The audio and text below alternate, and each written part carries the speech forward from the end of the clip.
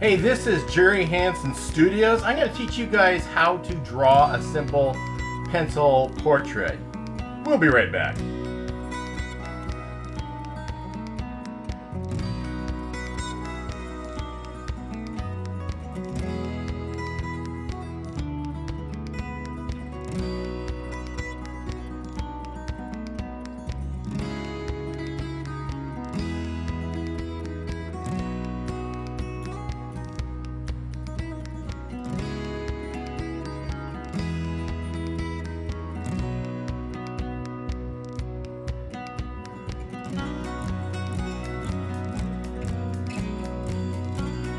Welcome back. This is Jerry Hanson Studios, and I brought you into, well, my studio.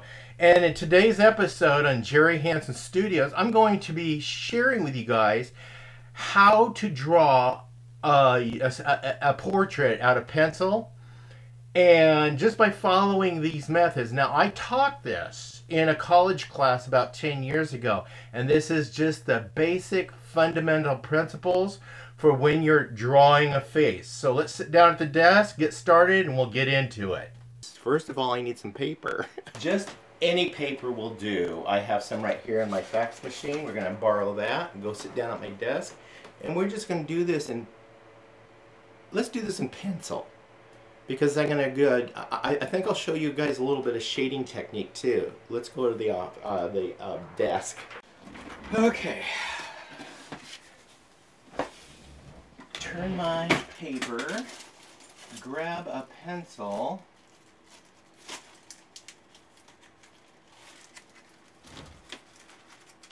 okay, pencil, doesn't, um, I don't necessarily need an, er an eraser, but I do need to sharpen this. There we go. Okay, let's get started with some basic understanding. First of all, something simple. It's some people find it hard to um, to remember. Uh, when I first started, I found this hard to remember. But let's look at the paper itself. In this position, it's called portrait. When you turn your paper to the side, it's called landscape. And how I remember this is portraits are usually taken where you've got the long way going this way and the horizon going on the narrow side. But with landscapes, landscapes you want to capture the horizon, which is your horizontal line, and you want to capture your horizon so you're going to turn the paper sideways and get a better spectrum of your image that you're drawing or painting. And so this is called landscape. This is called portrait. We're going to work with portrait today. So really easy, really simple, just a paper and a pencil. Uh, let's start out by drawing an oval or a shape of an egg. Just, you got broad at the top and an egg is narrow at the bottom. Okay, doesn't have to be perfect, but that is the kind of the focus of an egg. Okay, oval.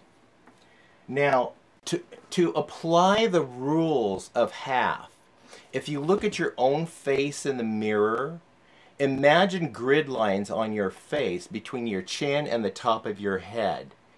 And start imagining grid lines and finding the center line.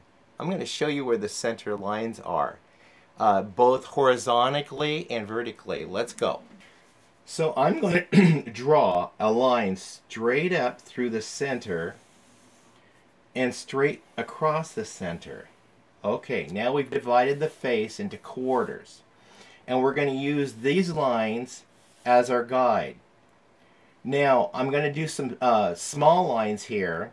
We're going to find the halfway point between this right here and here and we're going to just draw a little tick mark right there and the same way with over here, a little tick mark there. Now this is fascinating. We just followed the rule of half. We gridded our face. Now we've got the grid of half, the rule of half we got a halfway starting point and this will come in a later. And then these are halfway points. Just draw a little dot there. Just draw a little dot there. A little black dot. You can do big dots little dots uh, anything you want. Now guess what folks? These these are the pupils of your eyes. Yep. Your pu- the pupil of your eyes are centered halfway on the axis of your head, halfway down, and equally out from side to side and from center to side. Now you're going to draw a little circle around that pupil. That's your iris. And then you're going to draw an eye. How do you figure out how big the eye is going to be? Well, again, if you're looking at the mirror and you're imagining grids on your face, to find where the inner part of your eye and the outer part of your eye fall, I'm going to show you on paper. You're going to be amazed. So this is turning out to be not only a drawing um, instruction, but also anatomy. so find your rule of half. Halfway between here and here is right here. Halfway between here and here is right here. And we're going to do the same over here, halfway, halfway. Folks, this is the inside of your eye. This is the outside of your eye. Cool. So now people of different cultures have different shapes of eyes. Choose the shape you want. Try to draw your shape or the shape of your best friend. Uh, or the person you admire. Uh, just uh, find a shape because there's a variety of different shapes of eyes and then we're just going to go with that shape. So let's draw it. So I know this is the outside of the eye and I'm going to come up very slightly and go down and come down very slightly. Okay.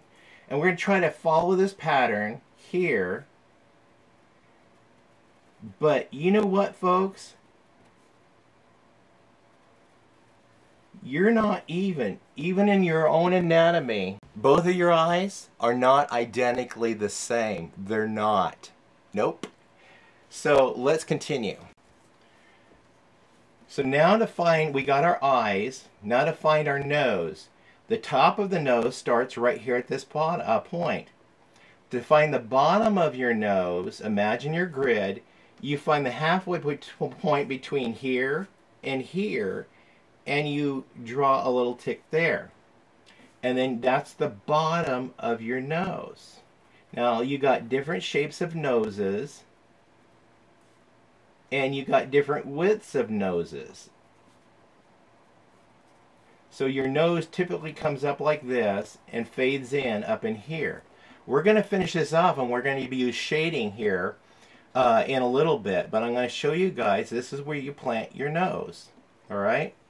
Now, we've got the two eyes, we've got the nose. Let's find out where the mouth goes. Uh, you guys are ahead of me already. Halfway point between here and here is right here. All right?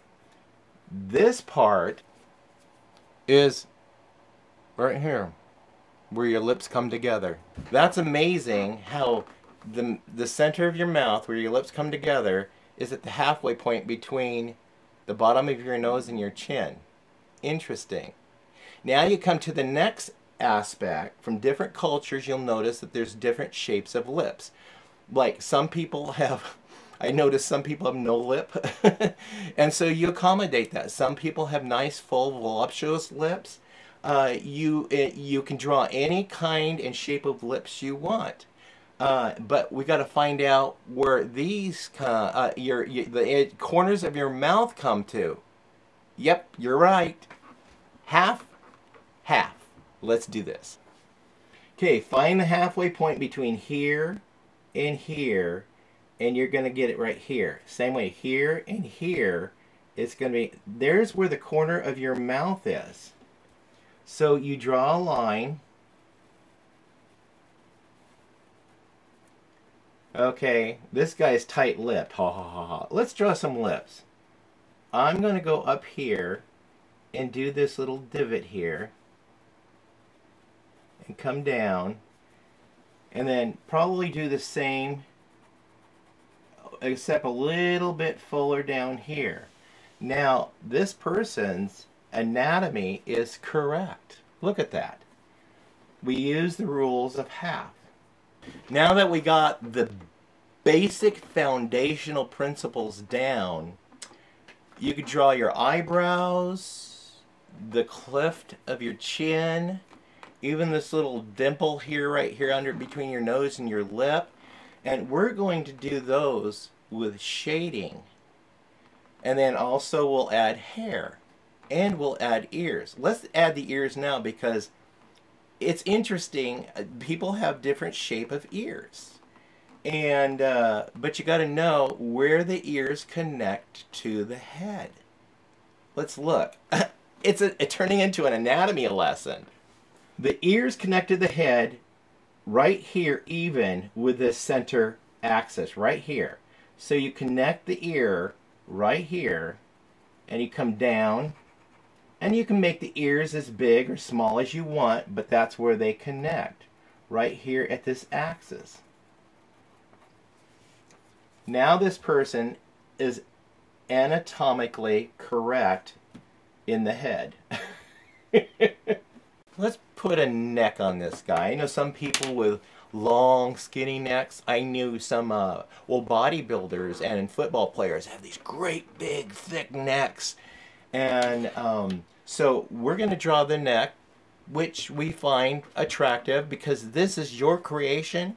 You're drawing this person. This person is going to be who you want it to be. So it could be somebody sitting in front of you. And with that person sitting in front of you, now you know the foundation uh, principles on getting started and getting the person anatomically correct. So let's put a neck on this. So let's just do a neck here. Okay, an average size neck. Now I have not determined what the gender of this individual is going to be whether it's going to be a man, male or female.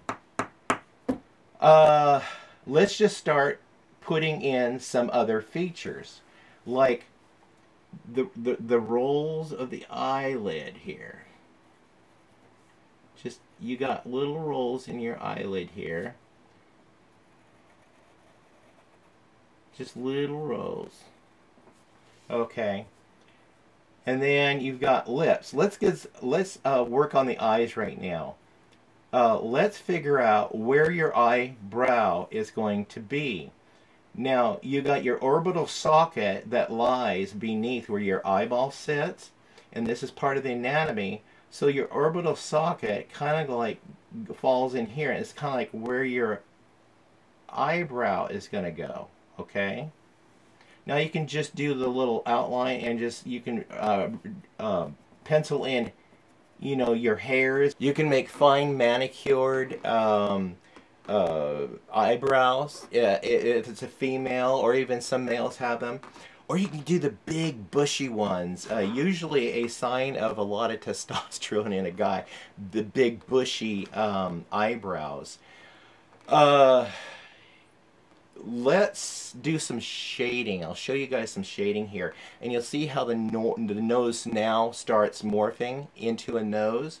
And the lips get a little bit more depth and more features start coming in. Let's, let's start with uh, let's start with the eyes. We'll do some shading around the eyes. And we're going to lay, lay the pencil on the paper and start shading like this. And I'm going to show you a couple of tricks. So I can either go like this with a pencil or I can go like this off to the side and rub some in there and use another tool, my finger. Look at this. Look how the shading comes in when you apply it with your finger. You're going to do a lot of this. You're going to learn how to use your fingers.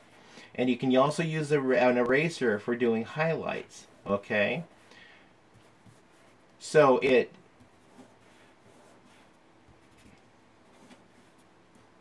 and then a little bit down below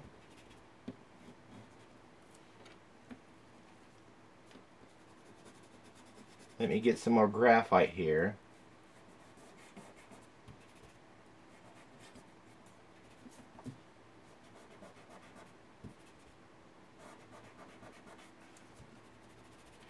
And we're going to use the same principle right here with also doing the nose, but we're going to figure out where the light is coming from on your subject. I'm going to imagine my light coming from this angle and shining down on the subject this way. So we're going to put shade, the shadows over here. So right here, I'm going to shade in my nose.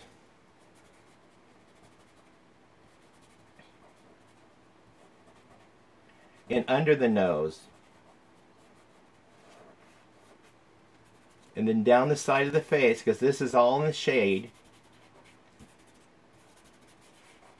And under the chin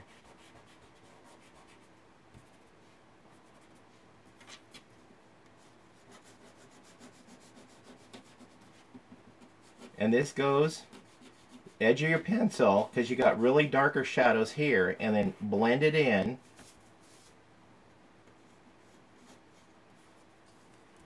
And then notice you've got little tear ducts here. Go ahead and draw those in Okay? Let's get your eyes finished, okay?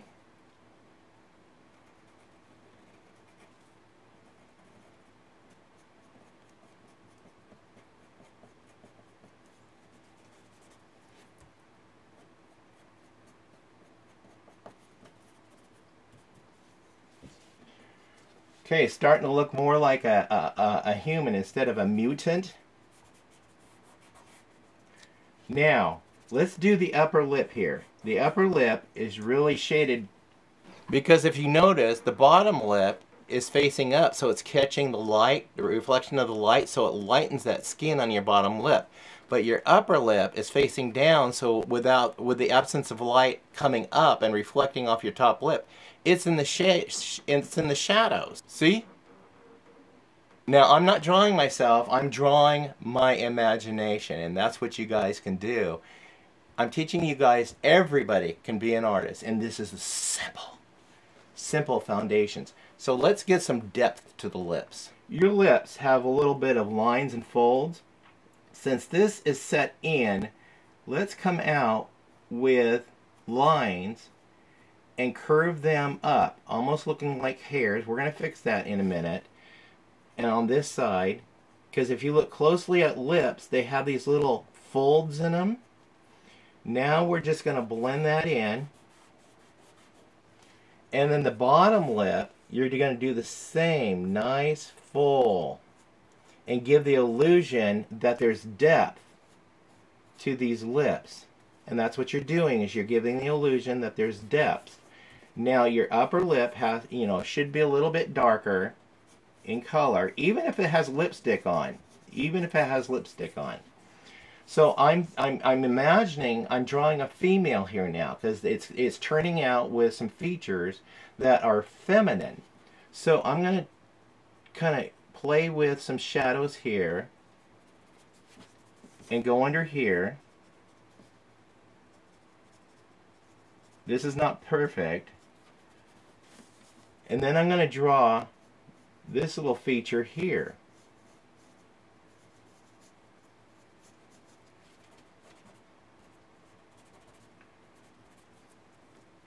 And then she has a little bit of cleft in her chin. And just kind of blend it in with your finger and give it some body. And here's where you can use an eraser. Let me find an eraser. Oh, do any of these pencils have an eraser? No, not one of them have an eraser. I found one with an eraser. So I'm going to work on just removing some of that. You can even use eraser as part of your tool. Don't be afraid of it. And it's really dark under the uh, under the chin because that's where shadows are right here, but follow the contour of the face. We don't want her to have a beard, facial hairs. Okay. So now that's the basics of creating a subject. Now you can just do any hairstyle you want. You know, find a part line, come across the part line, come down.